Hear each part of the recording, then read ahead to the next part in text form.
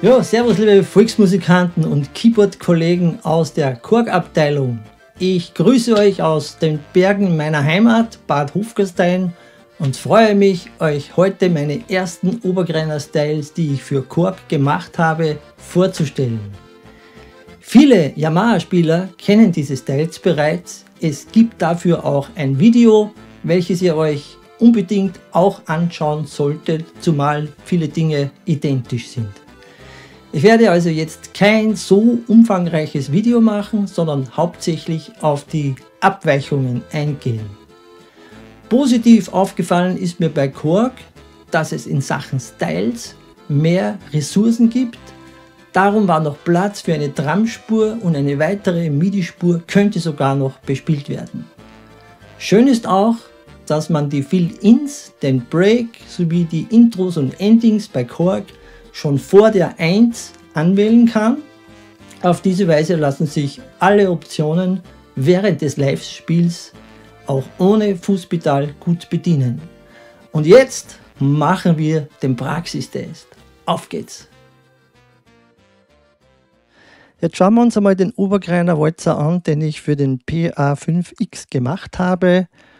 Wo sind die Unterschiede zwischen den bereits bestehenden Yamaha-Styles und jetzt den Korg-Styles? Was ist besser? Was klingt besser? Naja, das ist Geschmackssache. Ich finde beide sehr gut gelungen.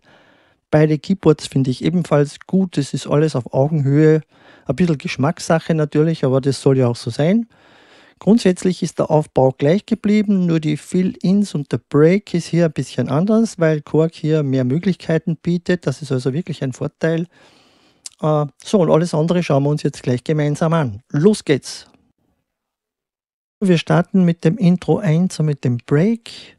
Beide sind zweitaktig, frei spielbar. Ganz wichtige Tasten für Durchwechsel, für kleine Unterbrechungen im laufenden Lied.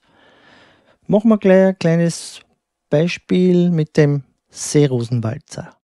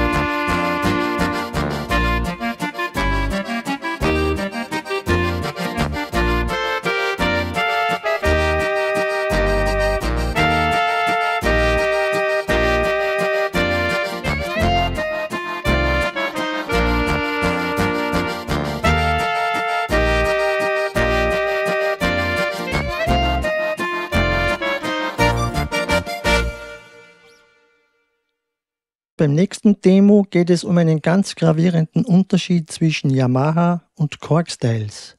Das betrifft die Fill-Ins, die man bei Korg beliebig lang machen kann. Hier habe ich sie zweitaktig gemacht und man kann bei Korg sie auch unabhängig von den Variationen verwenden. Das macht natürlich viel mehr Spielspaß, weil ich kann jetzt zum Beispiel mit der Variation 1 alle vier Fill-Ins einsetzen und wenn die geschickt gemacht sind, wie hier in dem Fall, ja, habe ich natürlich wahnsinnig viele Variationsmöglichkeiten und das ist ein richtiger Vorteil. Schauen wir uns gleich in dem nächsten Demo an.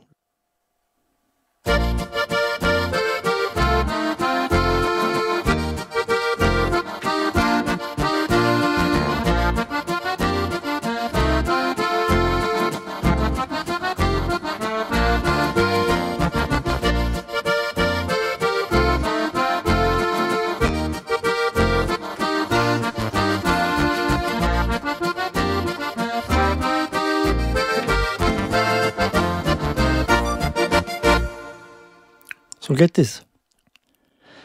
Selbstverständlich seid ihr nicht gezwungen, ständig viel ins zu drücken. Diese vier Variationen sind 16-taktig und spielen in sich schon jede Menge sinnvolle Bassfiguren. Bitte beachtet aber, dass diese Bassläufe immer nur vom ersten Takt ausgehend an den richtigen Stellen erklingen. Meist am vierten, achten, zwölften und ab dem 15. Takt. Bedenkt auch, dass sich nach jedem gedrückten Fill-In die 16-taktige MIDI-Schleife ab Takt 1 wiederholt. Ihr müsst also schon überlegen, wann ihr welches Fill-In einsetzt und welche Variation zu welchem Musikstück am besten passt. Die Variationen 1 und 2 sind sehr universell. Sie spielen eher dezente Bassläufe und eignen sich für fast alle Walzerlieder. 3 und 4 hingegen sind sehr speziell. Sie beinhalten kleine Bass-Soli als Lückenfüller oder als Einwürfe für Lieder, die nur wenige Akkordwechsel haben. Beim nächsten Demo kommen alle vier Variationen zum Einsatz. Los geht's!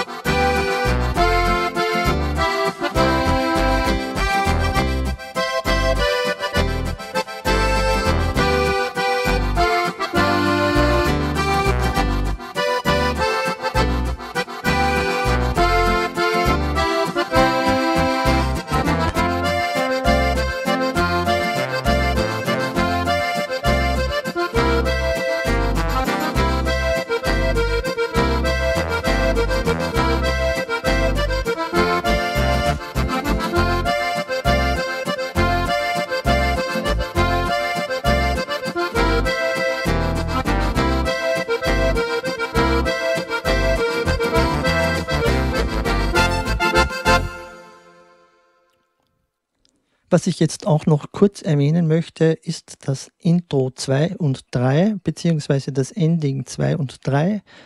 Die sind nur in Dur und Moll zu spielen, so wie das bei allen Standard-Styles von Yamaha der Fall ist. Beide sind sowohl als auch zu verwenden. Man muss halt nur schauen, dass man zum richtigen Zeitpunkt die richtigen Knöpfe drückt. Aber das wisst ihr Keyboard-Spieler ja inzwischen alle. Intro in Dur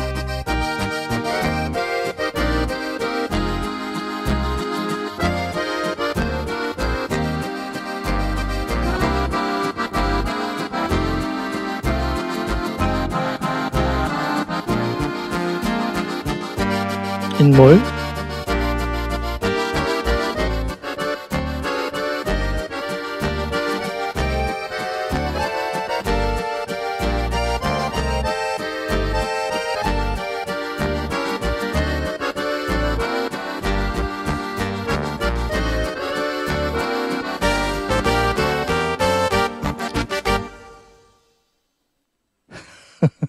Ja, Musik muss Spaß machen. Künstlerische Freiheit. Jeder soll spielen, was er will. Auch mit diesen Greiner-Styles ist praktisch alles spielbar, wie ihr gehört habt. Man muss es nur tun, immer frisch drauf los. Also noch eine kleine Zugabe.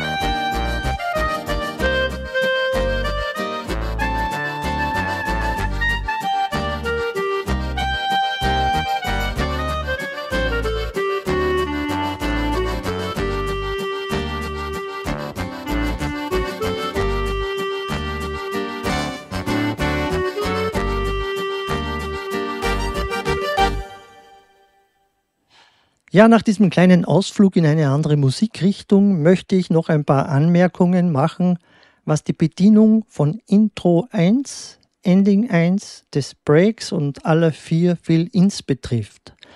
Diese spielen in Dur und in Moll und auch in der Septime völlig unterschiedliche Bässe und Arrangements. Um ein musikalisch korrektes Ergebnis eurer Darbietungen zu erreichen, müsst ihr also lernen, wie diese Styles funktionieren. Und das schauen wir uns jetzt auch noch an. Angenommen, ich würde jetzt ein Lied in B-Dur spielen, möchte eine zweitaktige Unterbrechung, aber ohne die Tonart zu wechseln. Dann würde ich jetzt das Intro 1 so verwenden.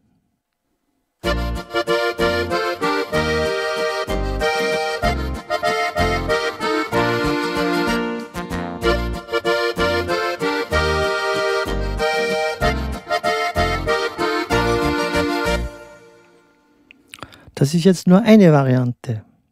So angenommen, ich spiele jetzt ein Lied in C-Dur, möchte dann aber in F-Dur weiterspielen, ein anderes Lied, brauche ich also eine Überleitung, auch hier wieder das zweitaktige Intro optimal geeignet.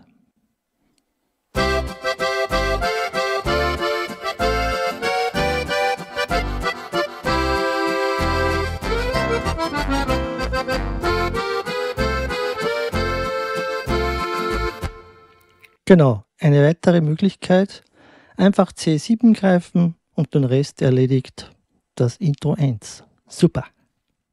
In der Volksmusik kommt natürlich oft vor, dass man ein Lied steigern möchte, also mehr Dampf machen, zum Beispiel einen ganzen Ton nach oben gehen. Das bringt natürlich auch mehr Stimmung. Wenn ich jetzt zum Beispiel in S-Dur spielen würde, möchte nachher in die F-Dur wechseln, brauche ich zuvor natürlich eine C7 mit einem überleitenden Bass. Auch hier wieder Intro 1, beste Lösung.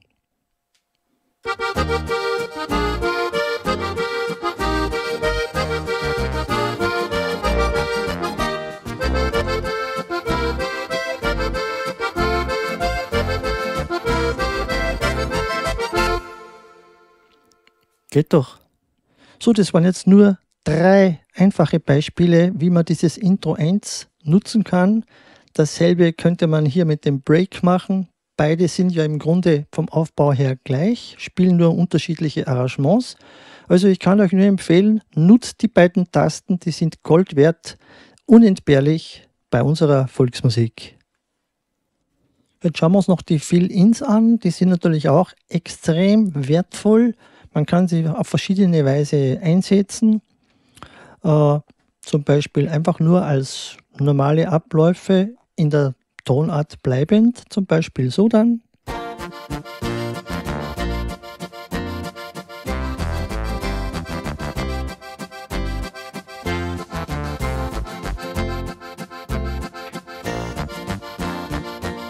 Oder als Septimakkord.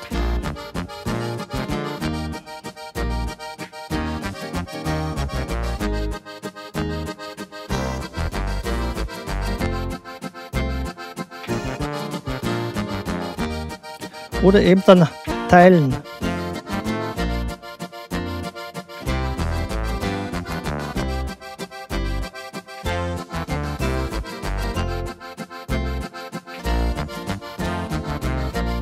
Genau.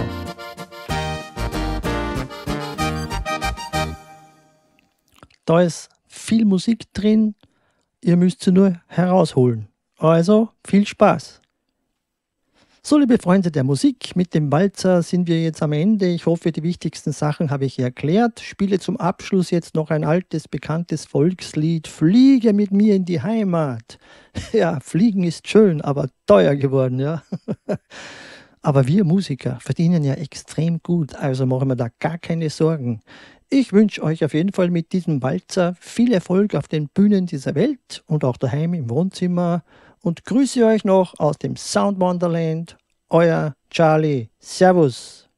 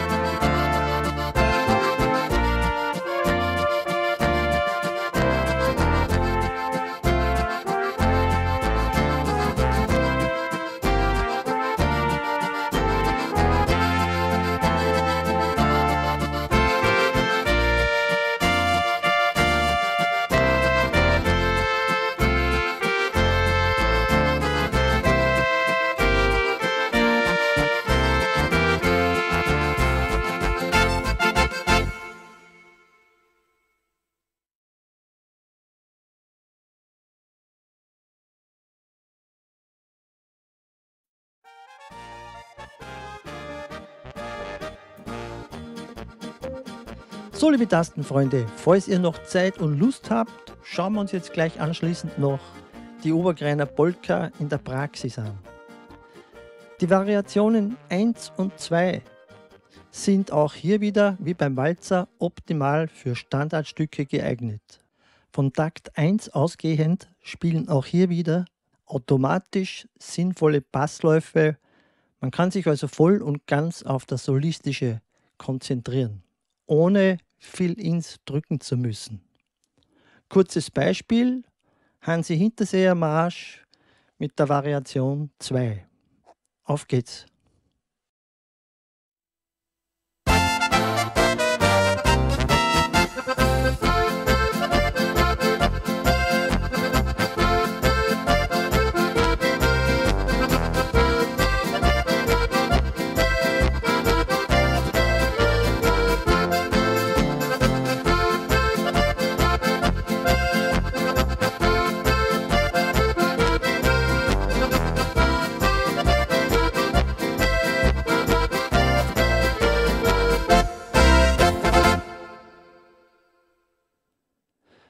Beim nächsten Demo komme ich mit den Variationen 1 und 2 ohne viel Ins gut über die Runden, weil die Bässe im Hintergrund automatisch ihre wichtige Aufgabe erfüllen. Ich spiele eine Eigenkomposition mit dem Titel Ich bin ein Bauernbur. Das MIDI-File findet ihr bei uns im Shop.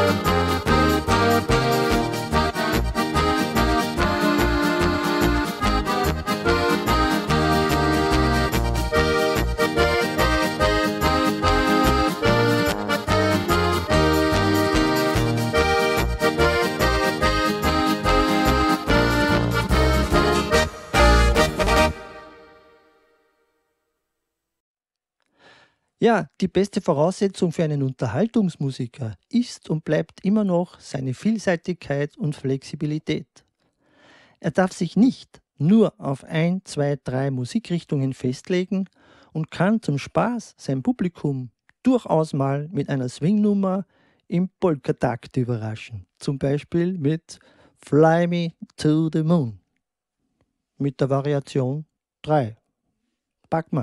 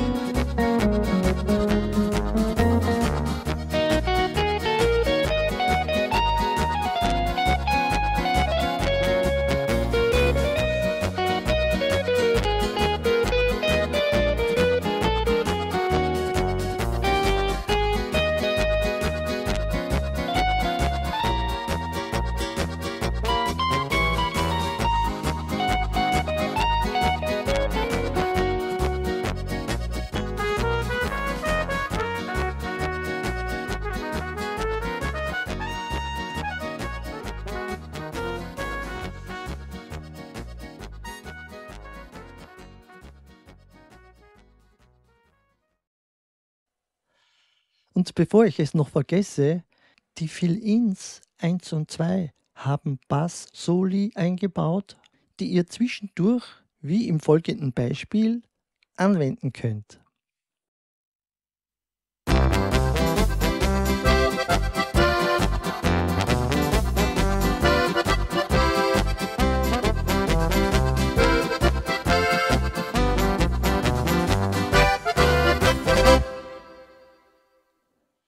Alternativ könnt ihr aber das Fill 1 und 2 in Verbindung mit der Break-Taste super als Intros verwenden oder als Endings. Dann aber als Abschluss mit der Ending-Taste 1. Es ist also vieles möglich, aber nichts ist fix.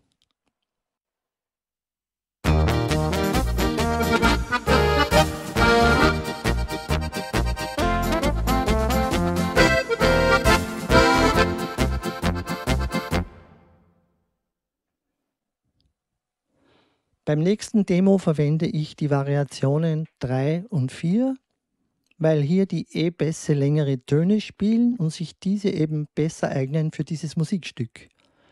Diese Überlegung müsst ihr natürlich auch immer anstellen, wenn ihr ein neues Lied spielen wollt mit diesen Styles.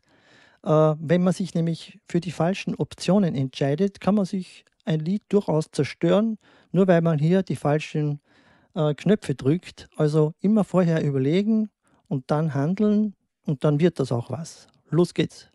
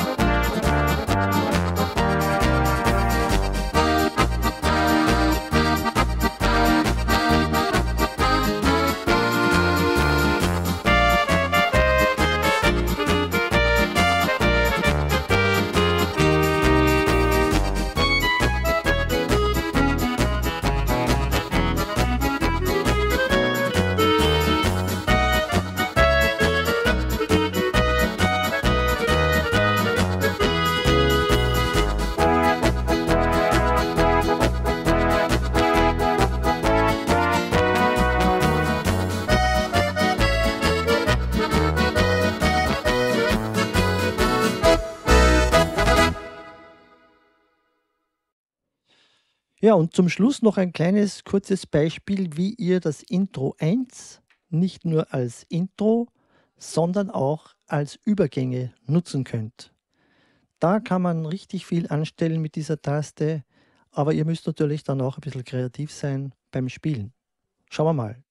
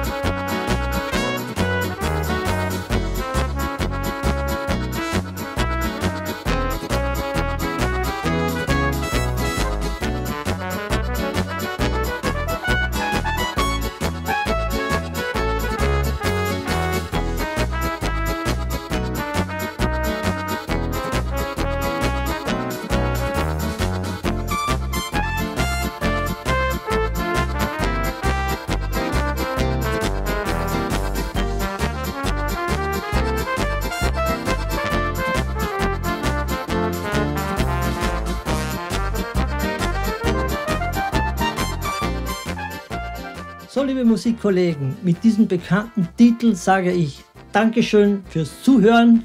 Ich wünsche euch beste Gesundheit, viel Freude und Erfolg beim Musizieren und verabschiede mich mit einem Servus aus dem Sound Wonderland. Euer Ösi Charlie.